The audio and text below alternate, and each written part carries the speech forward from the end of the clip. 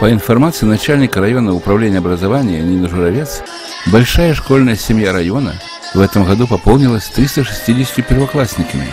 Но эта цифра еще не окончательная. Она, как правило, незначительна, но увеличивается в течение короткого периода. В самом же районном центре Молдавский теоретический лицей имени Алексея Матеевича пополнился двумя первыми классами по 28 учеников. Первыми учительницами для них стали Алена Мустя и Галина Бурбуля – 20 первоклашек стали учащимися начальных классов лицея имени Александра Сергеевича Пушкина, а лицей Гаудямус принял в свою семью 14 новичков. Школьными мамами для них стали в лицее имени Александра Сергеевича Пушкина Наталья Толстова, а в Гаудиамусе Наталья Мельник. Традиционно, красочно и торжественно прошел митинг, посвященный первому звонку в лицее имени Алексея Матеевича.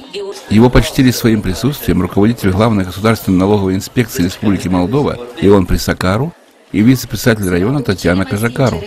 Они тепло поздравили учащихся и педагогов с первым днем знаний и пожелали всем достойных успехов в учебе.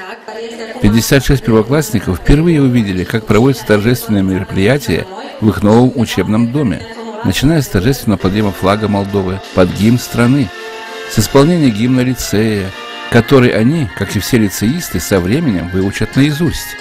Они тоже отличились на этой торжественной линейке, безошибочно отвечая на вопросы ведущих праздника Михая Бициву и Адрианы Чеботарь. А после торжественного первого звонка они, как и все учащиеся лицея, разошлись по классам, знакомиться со своими учителями и послушать свой первый урок в богатом мире знаний –